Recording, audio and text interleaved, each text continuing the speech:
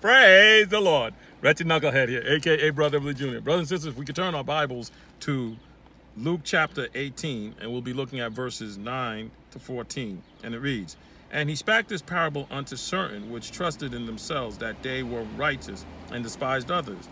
Two men went up into the temple to pray, the one a Pharisee, the other a publican. The Pharisee stood and prayed thus with himself, God, I thank thee that I am not as other men are, extortioners, unjust, adulterers, or even as this publican.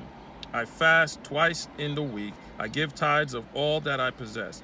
And the publican, standing afar off, would not lift up so much his eyes unto heaven, but smote his breast, saying, God, be merciful me, a sinner. I tell you this man went down to his house justified rather than the other. For everyone that exalts himself shall be abased, and he that humble himself shall be exalted. May the Lord add a blessing to the reading, to the hearing, to the admission, to the application, to the distribution of this great word, taken from the greatest book that man could ever possess. And my brother, this is God's word. We give God all the honor, all the glory, all the praise in the precious name of his dear Son, our Lord, our Savior, sooner coming King Jesus Christ. Amen. You know, we've all done it. You know, we've we've looked down on others and felt ourselves to be superior. Or we looked up to others and saw ourselves as failures. And that's an ugly cycle. An ugly cycle that God never intended us to be in. See, if we're in that cycle, when we're looking up to others and putting ourselves down, or looking down at others and putting ourselves up, we continue this vicious um, cycle that's not of God. Because that way we cannot see ourselves in the right image, nor can we see God for who he is. So our Lord and Savior Jesus Christ happens along these men, these certain um, self-righteous men having a discussions. And we're going to see how and the Lord Jesus is going to demonstrate to them how to how it is to see and to be seen by the eyes of grace. And so um, our Lord and Savior Jesus happens along where the Bible says that these men trusted in themselves and they despised others. And I can imagine probably how that conversation probably went when Jesus happened along. They were probably saying maybe something like, um, you know, uh, we go to church, but they don't. Or maybe, you know, uh, we we we've never done anything, uh, you know, broke the law or anything like that. We've never been in prison or never went to jail, but those people, they did. Or maybe they could have said something like, um, you know, you know, I've been married to my my spouse for X amount of years, but they, they've divorced, they've, they've, they've in sexual immorality, and they're just so devious and, and deviant and, you know, and, and, and, and or, you know, and, and, and something to like. And Jesus is hearing this conversation. And so then Jesus sees something um, uh, that that these these these these certain that that are self-righteous, despising others. And then Jesus then does something quite interesting. He he starts on a parable. He tells the parable about the two men go to the temple, one a uh, Pharisees and one a publican. And the Pharisees is doing all these good things and uh, tithing all his every week, and he's not an adulterer. He he does all these good things. He doesn't do these bad things, and and and and so. And and the, the, the, the there's also the the publican who also comes in, and and he just he doesn't even so much as look up to heaven. He just starts hitting his breast and saying, "God be merciful me a sinner." And and what's Jesus um conveying into this message to these um these men who are self-righteous and trusting themselves and despise other. Well, with the Pharisees, let's take a look at that. The Pharisees, when it seemed like the Pharisees, they, they saw themselves comparatively. Because, you know, in, in the parable, Jesus is saying uh, they're doing all these good things. They're, they're not doing the bad things. And they even compare themselves to the, to the Pharisee. He says, I'm not like this Pharisee. I'm not like, like him.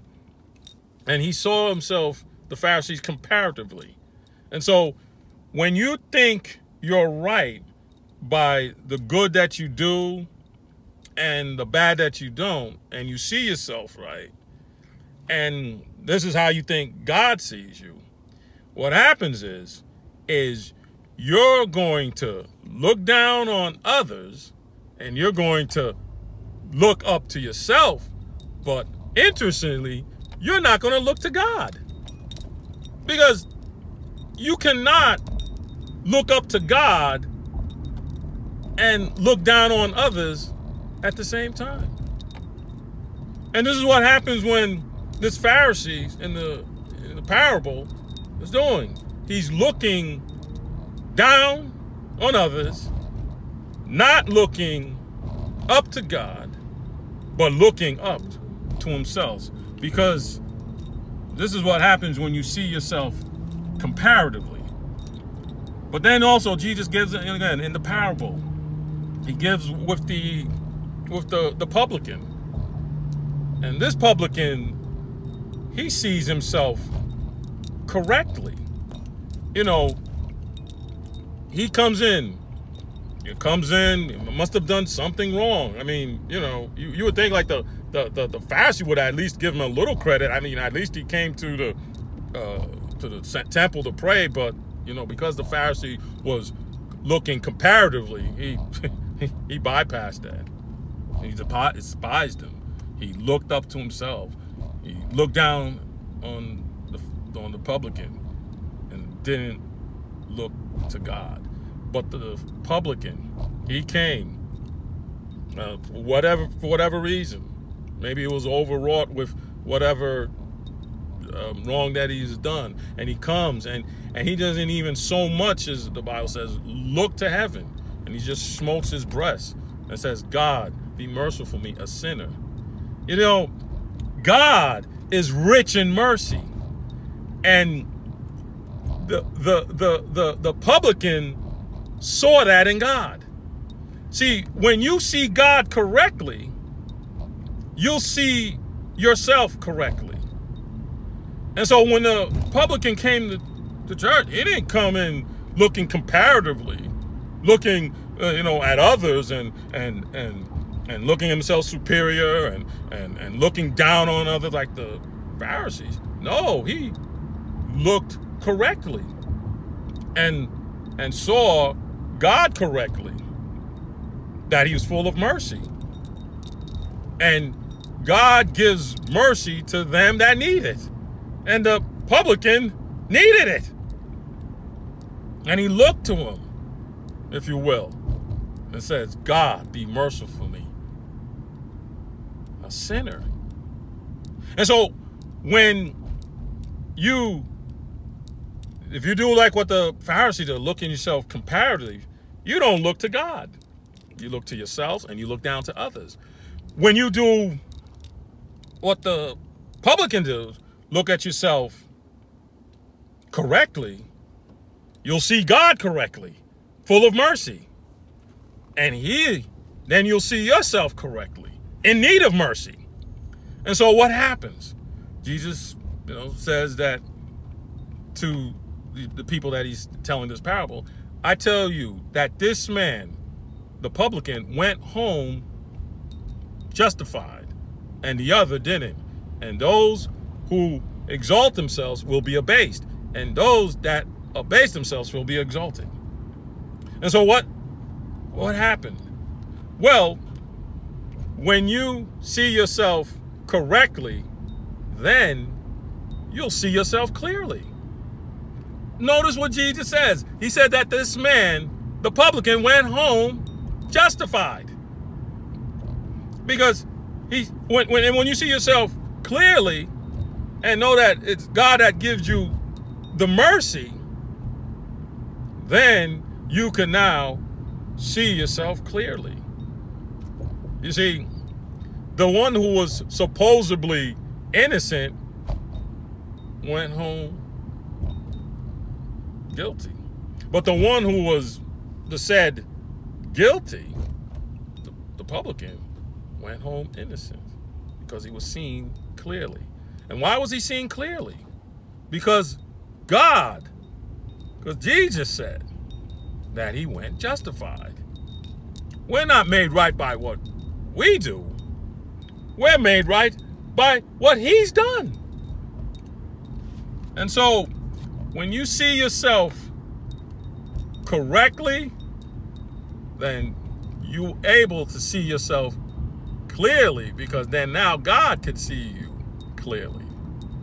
And always remember, when you look up to God, when you look up to Jesus Christ, you cannot look down on anyone else. And when you see that from that standpoint, you will see and be seen by the eyes of grace. Praise the Lord.